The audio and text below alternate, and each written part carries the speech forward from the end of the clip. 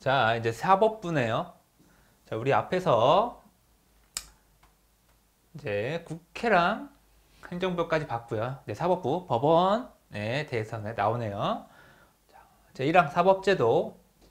자, 대법관의 임명은요. 대법관의 임명은 대법원장이 제청하고 자, 국회의 동의를 요한다. 자, 그리고 대통령이 임명한다. 자, 대법원장의 제청으로 국회의 동의를 얻어 대통령이 임명한다. 대법관도 국회의 동의를 요하는 게 좀 특이점이죠.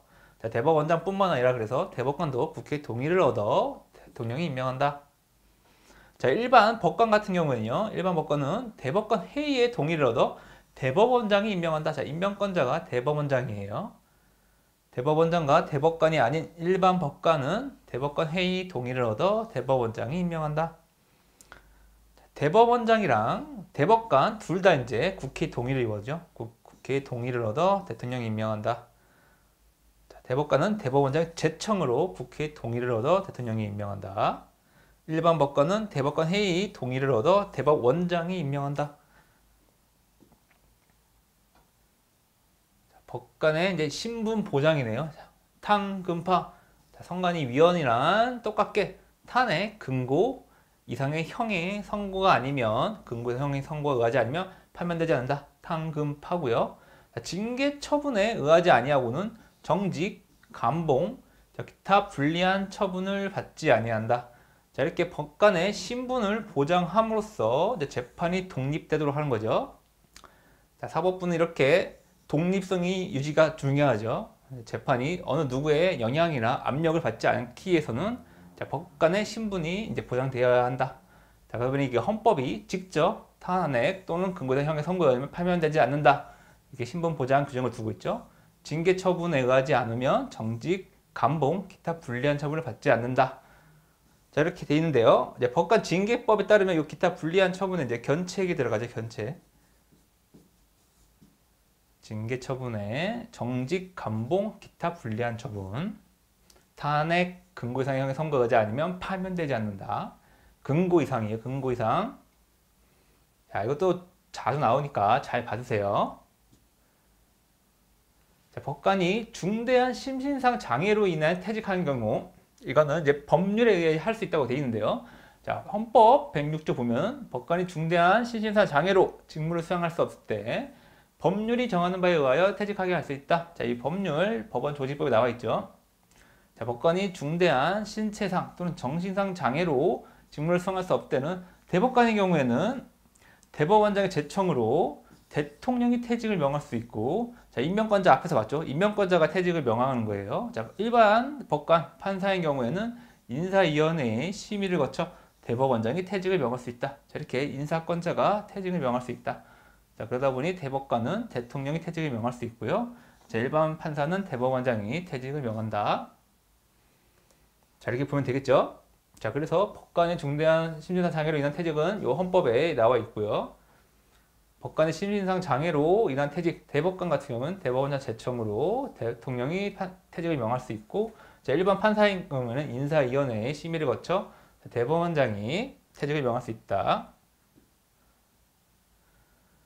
자, 법관을 타기간, 자, 법원 내부가 아니라 밖에 있는 기관, 타기관으로 파견을 하려는 경우에는 자, 해당 법관의 동의가 있어야겠죠.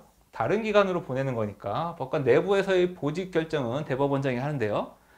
타기관, 법원이 아닌 다른 국가기관으로 보내려는 경우, 파견하려면 해당 법관의 동의가 있어야 된다.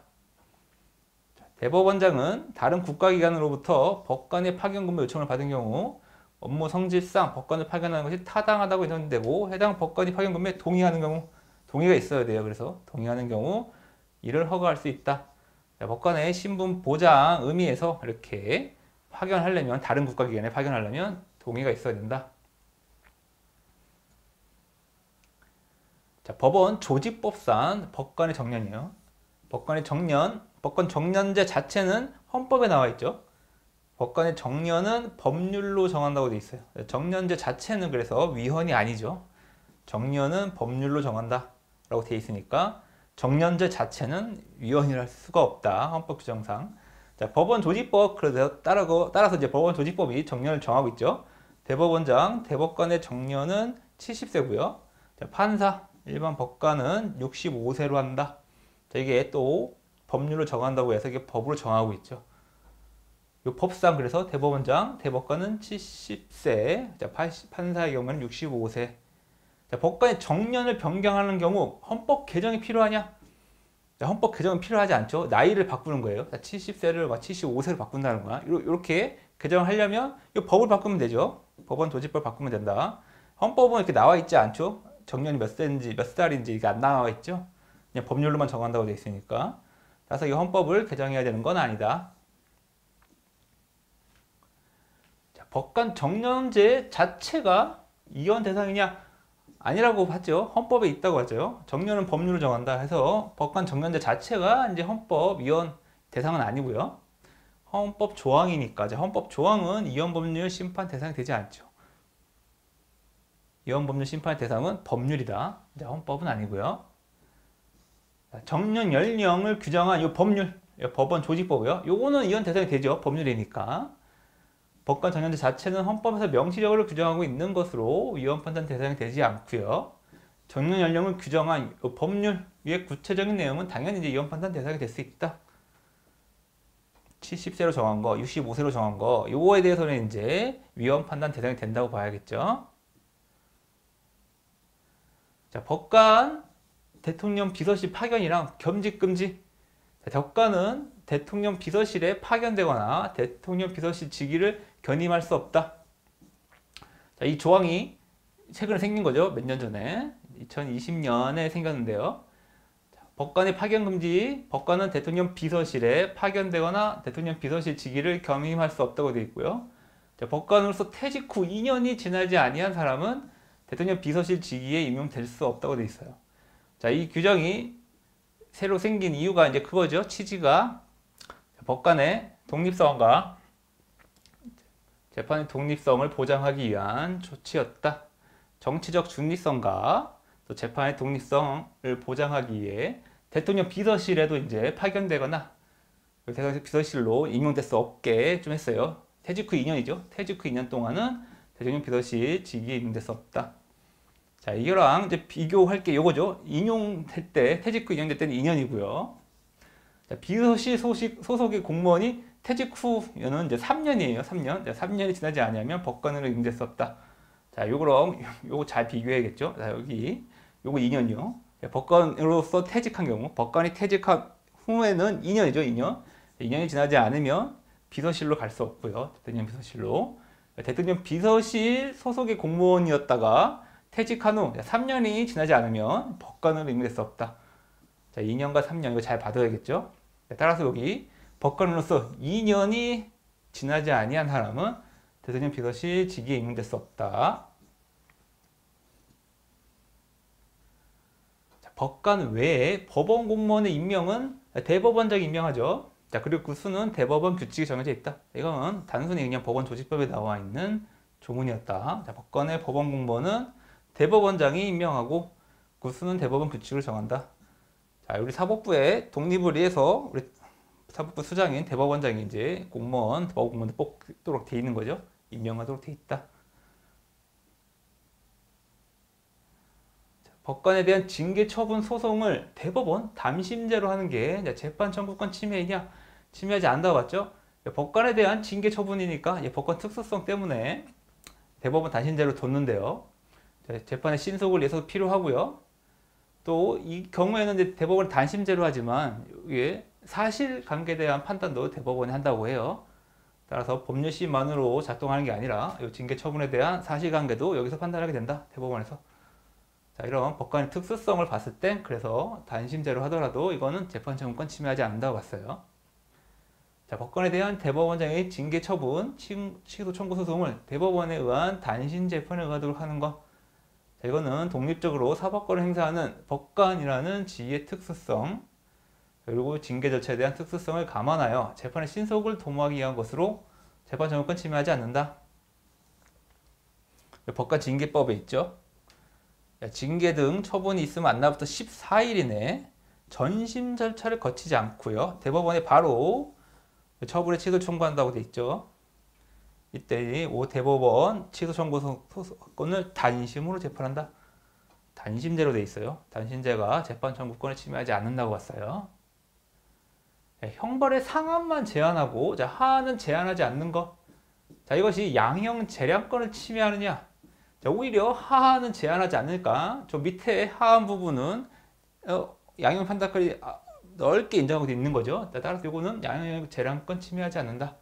자, 양형 재량권이란 건 이제 재판할 때 이제 법관이 형 정할 때 양정한테 재량을 가진다는 거죠. 자, 헌법을 보면요. 자, 법관은 헌법과 법률에 의해 그 양심에 따라 독립하여 심판한다고 돼 있어요. 자, 그래서 법관의 양형 재량권이라는 것도 결국은 이 법률의 법률의 범위 안에서 이루어지는 거죠. 제형 법정주의상 우리 형벌도 결국은 법률에 따라 정해진다. 자, 우리 입법부는요, 우리 국회는요, 넓은 입법 형성의 자유를 가지고 있죠. 양형을 어떻게 정할 것인가, 우리 형벌 범위를 어디 정할 것인가, 입법 형성의 자유를 입법부가 가지고 있다 보니까 이 양형 재량권이라는 것도 결국은 의회의 요, 요 입법 형성 범위 안에 있는 것이다. 무한히 인정될 수 있는 게 아니고요. 양형 재량권이라는 것이. 따라서 이렇게 뭐 한 제한하고 있지 않은 거 요거만으로 양형 재량권 치면 아니라고 본 거예요.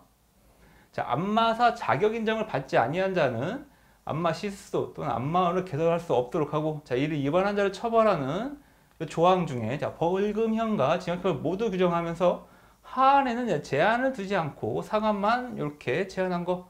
자, 이것이 야연자율권을 폭넓게 인정하고 있는 거지 이건 하한을 제한을 두고 있지 않은 거니까. 그래서 이거는 헌법 위반이 아니다. 정식 재판을 청구한 경우 약식 명령보다 중한형을 선고할 수 없도록 한 것이 양형 결정권을 침해하는 것인지 침해하지 않는다고 봤는데요. 일단 약식 명령이 뭔지 알아야겠죠. 자, 약식 명령이란 공판 절차를 거치지 아니하고 원칙적으로 서면 심리만으로 피고인에게 벌금 가료를 부과하는 간이한 형사 절차를 약식 절차라고 하는데 자, 이 절차에서 한 재판을 약식 명령이라 한다.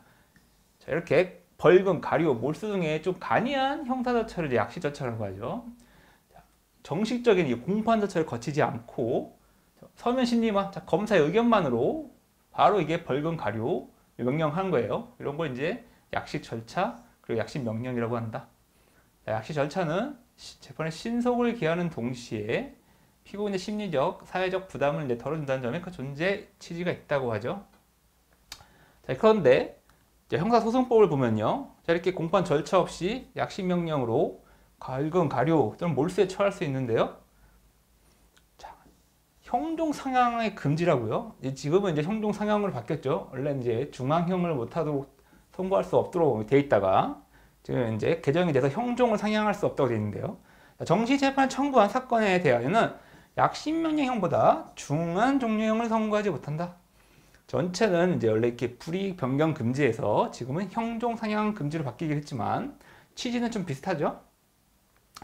약식 명령보다 중앙형을 선고하지 못하도록 하면서 피고인을 좀 보호하려고 하는 거예요.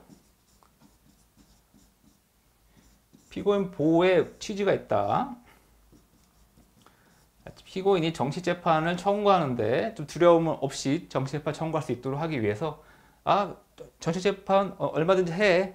네? 형종 오르지 않을게 이런 거였어요. 원래 불이익은 이제 좀 더 중한형을 선고할 수 없도록 한 건데 이게 너무 남발되다 보니까 정식 재판으로 쭉 가는 게 그래서 형종 상향으로 바뀌었어요. 형종 상향으로 바뀌었으니까 형종 상향만 아니면 원래 같은 형에서 이제 중하게 갈 수 있으니까 좀 좀 부담스러워지게 개정이 되긴 했죠. 자, 어쨌든 자, 요 구법에서는 이제 중한형을 선고할 수 없도록 한 건데요. 자, 이 케이스가 뭐였냐면 자, 음주운전으로 벌금형이 나왔어요. 약식명령으로.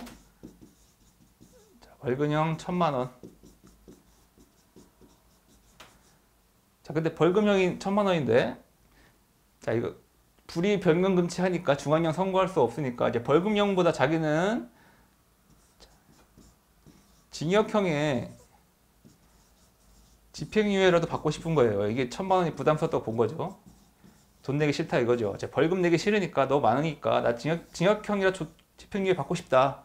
이렇게 주장한 거예요. 이거 피고인이. 벌금형 근데 형종 상향 아니, 불이익 변경 금지가 그때 돼 있으니까 국법상은 벌금형에서 징역형은 안 나오겠죠. 못 나오니까 자 이거 위헌이다. 양형적거 침해 아니냐 했는데 오히려 이거는 이제 피고인을 보호하기 위한 거였죠. 자, 공정한 재판을 위한 거다. 자, 공정한 재판을 받을 권리 보호하기 위한 거지 양형권 그래서 침해는 아니라고 본 거죠. 네, 돈보다 징역형이 낫다라고 이제 주장했는데 받아들이지 않았어요. 이 상향되는 거 안 된다.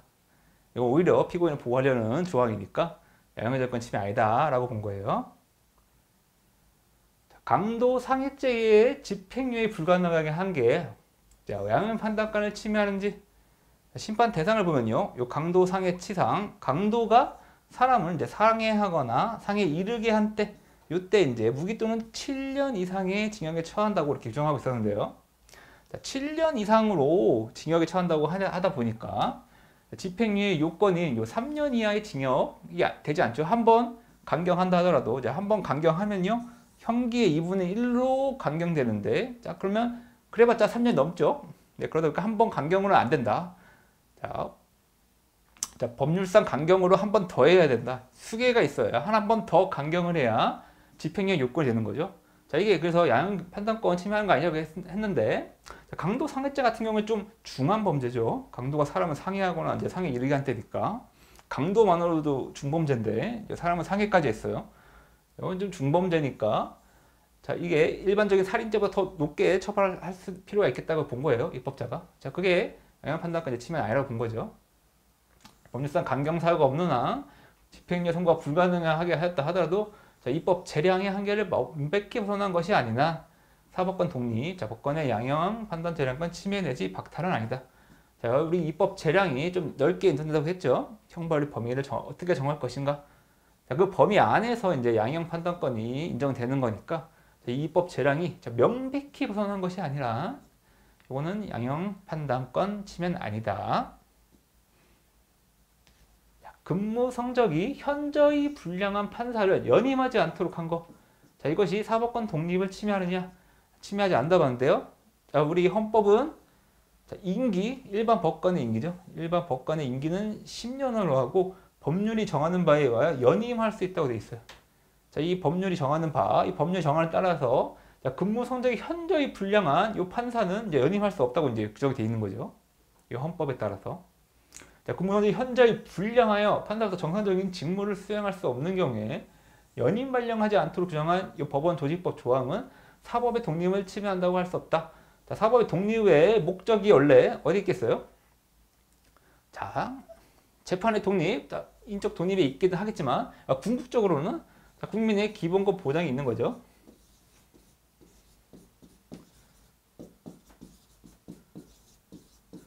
자, 이런 재판의 독립을 수단으로 해서 국민의 기본권 보장하는 게 이제 궁극적 목표다. 자, 그러다 보니 사법부의 책임성이 좀 더 강조되면 좀 이게 이 판사 같은 경우에도 법 지식을 좀 잘 가지고 업무에 재판 업무를 좀 잘 수행할 수 있는 판사, 법관이 이제 재판을 하도록 해야겠죠. 자, 그러다 보니까 이렇게 현저히 불량, 근무성적이 현저히 불량한 경우 요 국민의 기본권을 잘 보호할 수 없겠죠. 자, 그러니까 요 조항을 따라서 자, 근무성적이 현저히 불량한 판사는 이제 연임하지 못하도록 한 거. 자, 요게 사법의 독립을 침해한다고 볼 수는 없겠죠. 동종 사건에 있어서 상급심 선례가 하급심을 기속하는지 자, 좀 전에 봤던 그 조문 한번 다시 볼까요? 자, 법관은 헌법과 법률에 의하여 그 양수임에 따라 독립하여 심판한다. 자, 법관은 헌법과 법률에 기속하죠. 자, 선례, 선례, 선례에 구속하지 않아. 자, 원칙적으로 선례에 구속되지 않는다. 자, 다만 우리 법원 조직법은요. 상급법원 재판에서의 판단은 해당 사건에 관해 하급심을 기속한다고 되어 있어요. 해당 사건에 대해서는 기속한다. 자, 원칙적으로 선례에 구속되지는 않지만 우리 법관은 헌법과 법률에 의하여야 하지 선례에 의하는 건 아니지만 다만 이 해당 사건 우리 신급제도 합리적인 유지를 위해서는 자, 시, 신급제도의 합리성. 우리 이 합리적 유지를 위해선 해당 사건에 한해서는 이제 규칙대로 해야겠죠. 자, 따라서 동종 사건은 아니고 동종 사건 아니고 해당 사건에 있어서 이제 선례가 이제 하급심에 기속한다. 법원제지법 제8조에 있죠. 상급 법원의 재판에 있어서 당해 사건에 관해 하급심을 기속한다 규정하지만 자 이는 신급제도 합리적 이주의를 위해 당해 사건에 한해 구속력을 인정한 것이고 자 동종 사건에 대한 선례에서 구속력이 가는 것은 아니다. 자, 동종 사건에 대한 선례의 구속력은 없고요. 해당 사건에도 해당 사건 해당 사건에 한해서만 하급심을 기속한다. 자 법관에 대한 징계 처분의 종류 어, 앞에서 한번 봤죠. 정직, 감봉, 야 견책, 야 견책은 법관 징계법에 있다고 했죠. 자, 판례, 아, 헌법에서 헌법에서는 정직, 감봉, 기타 불리한 처분이라고 했는데 요건 이제 법관 징계법에서 정직, 감봉, 견책 요 세 종류로 하고 있죠. 견, 정직, 감봉, 견책 세 종류가 있고요. 자, 징계 처분에 불복하려는 경우 단심으로 한다고 그랬죠. 징계 처분이 안날로부터 14일 이내 자, 점심 전체 거치지 않고 대법원에 징계 처분의 취소를 청구해야 된다. 자, 이거 단심으로 한다고 앞에서 봤죠. 자, 앞에서 한 번씩 봤던 내용이고요. 자, 법원의 지위와 권한. 자, 법관의 임기이에요. 법관의 임기. 대법원장, 대법관은 6년으로 하고요. 대법원장은 중임, 중임 불가인데 대법관은 연임할 수 있다고 돼 있어요. 대법원장의 임기 6년, 중임할 수 없고요. 자, 대법원장은 중임 안 되고 대법관도 임기는 6년인데 법률이 정하는 바에 의해 연임할 수 있다. 대법원장은 중임할 수 없고 대법관은 연임할 수 있다. 잘 비교해 두시고요. 자, 대법관의 구성이네요. 자, 대법원장을 포함해서 14명이다. 이건 법원조직법에 있어요. 대법관 수는 대법원장 포함하여 14명. 자, 그래서 이건 대법원장 포함 대포 14. 대포 14를 외우죠. 대포 14. 간포 7과 더불어 대포 14. 대법관, 대법관은 이제 대법원장 포함해요. 14명으로 한다. 법원 조직법에 있는 거고요. 대법관 회의의 의결 종족수. 자, 이거는 3분의 2 출석에 출석 가반수 찬성으로 해요. 의장은요, 가부동서 결정권 가진다고 있다고 했죠. 선대캐, 선대캐 기억나시죠? 선대캐. 자, 선거관리위원회와 대법관 회의 같은 경우에는 의장이 가부동서 결정권을 가진다. 선대, 캐, 캐스팅 보트. 대법관 회의는 대법원 전원, 대법관 전원의 3분의 2 이상의 출석, 그리고 출석 인원 가반수의 찬성으로 의결한다. 의장은 의결에서 표결권을 가지고 가부동수일 땐 결정권을 가진다. 자, 이것도 법원 조직법에 나와 있고요. 자, 대법관 회의가 이제 3분의 2 출석에 출석에 대한 가반 찬성이란 거, 이것도 좀 특이하죠. 잘 봐두시고요. 대법원장 거리 시 권한대행 선임 대법관이 먼저 권한 대행을 해요. 자, 대법원장이 거리되거나 부득이한 사유 직무를 수행할 수 없을 땐 선임 대법관, 자, 선임 대법관이 권한을 대행한다.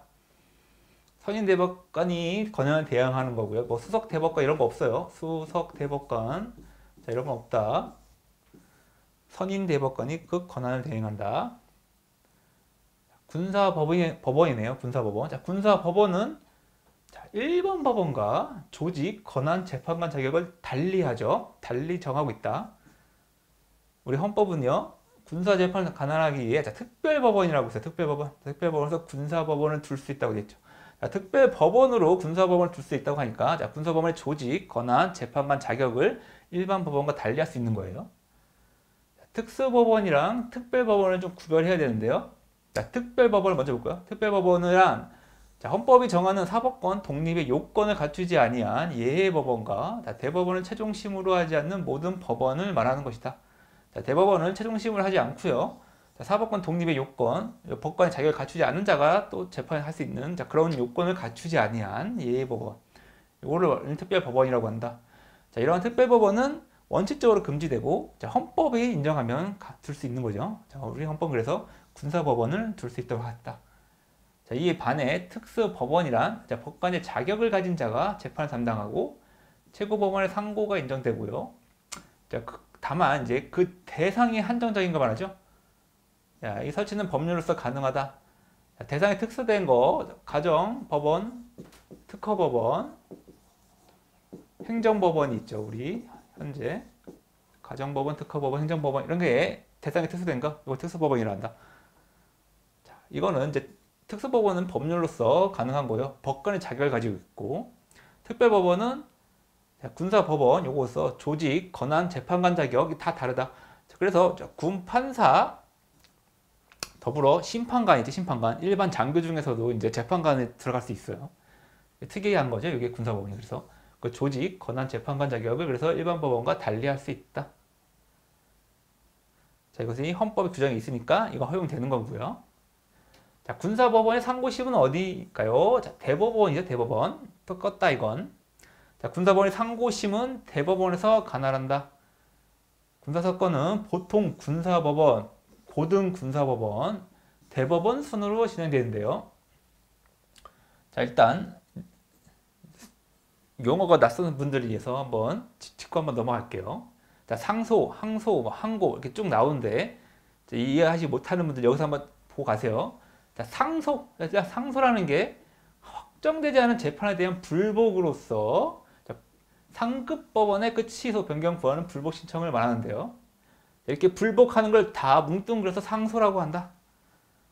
확정되지 않은 재판에 대한 불복을 다 상소라고 하는데요. 자, 상소는요, 항소도 있고, 상고도 있고, 항고도 있는데요. 자, 항소와 상고는 판결에 대한 거고요. 판결에 대한 상소가 항소, 상고라고 하고요. 자, 항고는 결정, 그리고 명령에 대한 상소이다. 자, 이렇게 판결에 대한 건 항소와 상고고, 자, 결정, 명령에 대한 항, 상소는 항고라고 한다. 자, 항소 같은 경우에는요. 항소는 1심, 자, 1심 종고 판결에 대한 불복 신청이다. 자, 상고는요. 2심이겠죠. 자, 2심으로서 한 판결에 대한 상소를 말한다. 이렇게 항소 1심 거쳐서 이제 상고 대법원을 가는 거고요. 항고 같은 경우에는 한 번 불복하면 재항고로 가는 거죠. 항고와 재항고로 간다. 자, 이렇게 용어 봐두시고요. 자, 그래서 군사법원의 상고심은 대법원에서 관할한다. 보통 군사법원으로 갔다가 그 다음에 고등군사법원, 그 다음 대법원 순으로 진행됩니다. 자, 명령의 헌법 위반 여부가 전제가 된 경우 대법원이 최종적 심사 권한을 갖는지 자, 헌법 위반 여부도 대법원이 최종적 심사 권한을 갖죠. 자, 법률 위반뿐만 아니라 자, 명령이나 규칙 처분이 법률이 위반될 뿐만 아니라 헌법, 자, 헌법이죠. 헌법이나 법률이죠. 헌법이나 법률이 위반되는 여부가 재판에 전제가 된 경우, 재판에 전제가 된 경우에는 대법원은 이를 최종적으로 심사할 권한을 가진다. 재판에 전제가 된 경우는요, 자, 이게 명령 규칙 처분이 위헌, 위법에 따라서 재판의 내용이 달라지는 걸, 다른 내용의 재판을 하게 되는 걸, 이걸 재판에 전제가 됐다고 하죠. 자, 그런 재판에 전제가 된 경우에 이제 대법원이 최종적 심사할 권한을 가진다. 명령규칙 처분이 법률뿐만 아니라 이 헌법, 헌법 위반되는 여부도 포함된다. 주문문 잘 봐두시고요. 자, 대법원 규칙 재정권의 대상은요. 소송 절차, 내부 규율 다 포함된다. 대법원은 법률, 법률에서 접촉되지 아니하는 범위 안에서 소송에 관한 절차, 내부 규율, 법원 내부 규율, 사무 처리에 관한 규칙을 제정할 수 있다. 자, 이것도 헌법에 나와 있죠. 대법원의 규칙 재정권. 자, 비상 계엄화에서는 예외적으로 단신 재판을 할 수 있다고 하는데요. 자, 경비 계엄은 아니고요. 비상 계엄입니다. 비상 계엄. 자, 비상 계엄에서 예외적으로 단신 재판이 가능하다. 다만 이제 사형 선고하는 경우에는 단심으로 할 수 없죠. 자, 비상 계엄이 선포된 때에는 법률 정하는 바에 의하여 법원의 권한에 관하여 특별한 조치를 할 수 있으며 영언 전법 기억나세요? 영언 전법. 비상계엄 선포된 때 법률이 정하는 바에 의해 영언정법, 영장제도, 언론 출판, 집회, 결사 자유, 자, 정법, 권한에 관한 특별한 조치를 할 수 있다. 영언정법이라고 외우라 했죠. 비상계엄 시 영언정법에 의한 특별한 조치. 국회는 빠져있죠. 정부나 법원의 권한에 관하여 특별한 조치를 할 수 있다. 자, 법원에 관하여 특별한 조치를 할 수 있다. 이거 맞고요. 비상계엄의 군사재판은요. 군인, 군무원 범죄, 군사에 관한 간첩죄의 경우와 초병, 초소, 유독 음식물 공급, 포로에 관한 제중 법률이 정한 경우에 하나요? 군사법원이 단심으로 재판할 수 있다. 다만 사형을 선고한 경우는 그렇지 않다. 자 이렇게 이것도 헌법 조항 문제였어요. 판결? 판결을 비공개할 수 있는지 자, 심리는 비공개할 수 있는데요. 자, 판결은 비공개할 수 없다. 자, 이것도 자주 나오죠. 자, 원칙은요. 재판의 심리와 판결 둘 다 공개하는 게 원칙이에요. 자, 다만 이제 심리 자, 심리는 국가 안전보장, 안녕 질서를 방해하거나 선량한 풍속을 해야 할 염려가 있을 때 자, 일대 법원의 결정으로 공개하지 아니할 수 있다. 자, 이렇게 심리는 이런 요건을 충족하면 국가 안전보장, 안녕질서 방해, 선량한 풍속 해야 염려 이렇게 있을 때 법원의 결정으로 공개하지 아니할 수 있지만 판결, 자, 판결만은 무조건 반드시 공개죠. 자, 판결은 반드시 공개한다. 판결은 예외가 없어요. 자, 원래 재판 공개의 목적이 뭐겠어요? 자, 재판을 공개함으로써 우린 자, 재판에 대한 신뢰를 회복하고 자, 재판을 받는 사람의 이제 공개 재판을 받을 권리를 보장하면 이제 공정한 재판을 보호하기 위한 거죠. 자, 심리 같은 경우에는요.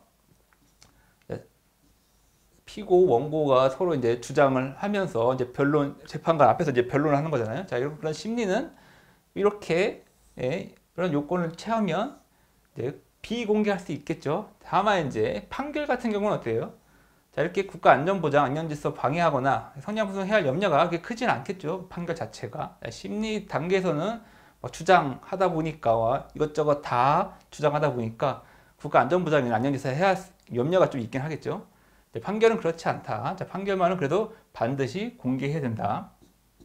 자, 우리 공정한 재판을 받을 권리 위해서는 판결은 반드시 공개되니까 자, 판결은 비공개할 수 없다. 심리는 비공개할 수 있지만 자, 판결은 비공개할 수 없다.